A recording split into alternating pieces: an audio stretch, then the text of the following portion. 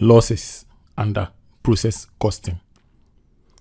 In many processes, it is highly unusual for a business to achieve 100% output from the inputs committed. So, if 100 units of a product are expected from a process based on the input, the process is likely to generate 90 in actual product. So, the difference between the input that was made and the output that is finally produced is the loss. So, the loss can be as a result of evaporation, spillage, damage, what have you. Let's talk about normal loss. Now, also known as expected loss. This is the loss a business expects to incur from the process. In other words, it is the level of shortage acceptable to the business. Now, this expectation can be set based on experience or industry metrics. Now, a business has little or nothing to do with controlling this type of loss in terms of either eradicating or alleviating it. So the total process cost is to be apportioned over the number of actual output units produced.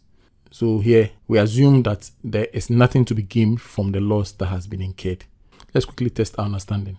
So the following costs were incurred in the production process of writing pens for the month of May 2015.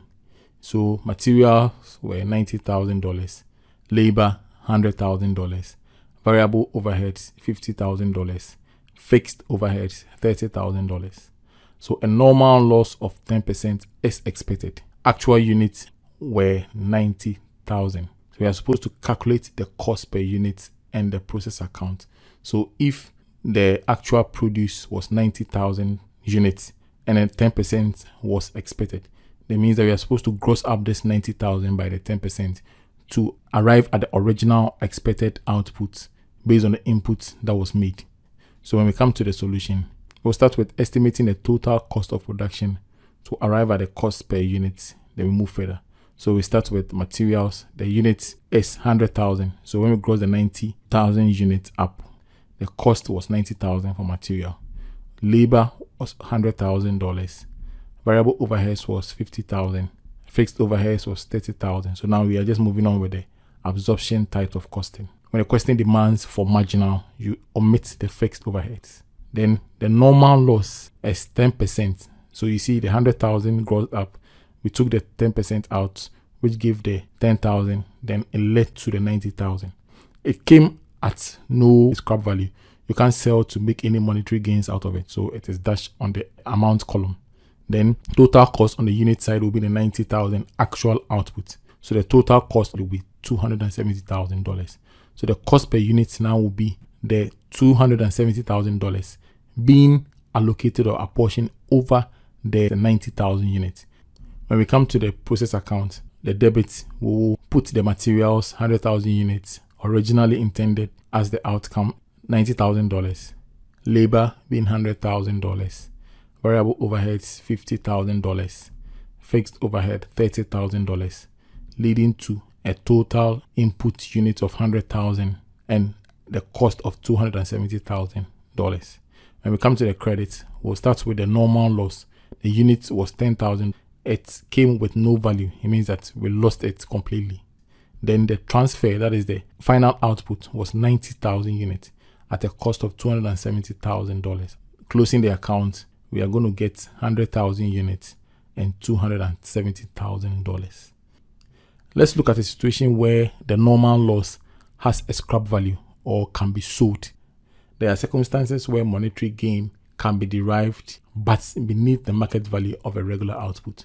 So if a regular product is selling for let's say $5, the lost product is going to be sold for $4. The accounting process will be that the scrap proceeds or the sellable amount is to be deducted from the total cost of the process before being apportioned to the actual output.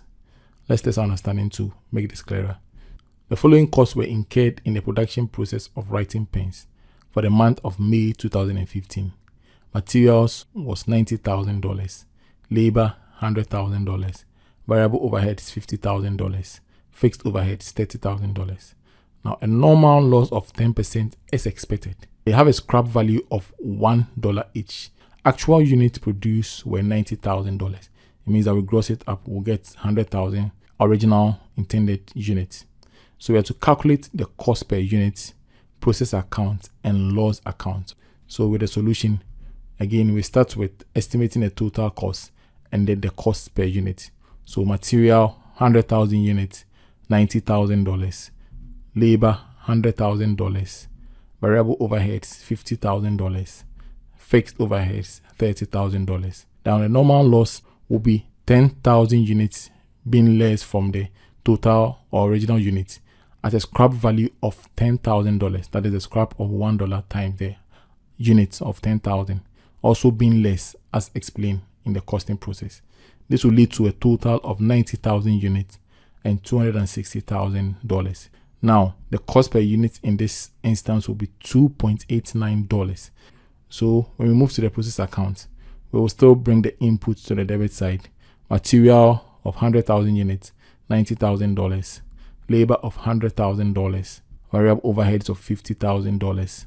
Fixed overheads of $30,000 then we close it 100,000 units at a cost of $270,000.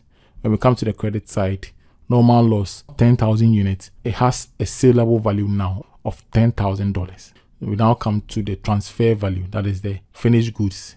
90,000 was actual output at a cost of $260,000. 2.89 cost per unit multiplied by the output of 90,000 leading to 100,000 units for the transfer at a cost of $270,000. So when we come to the loss account, we will now bring the normal loss to the debit side 10,000 units at $10,000. A loss like an expense has a debit balance. Then we close it.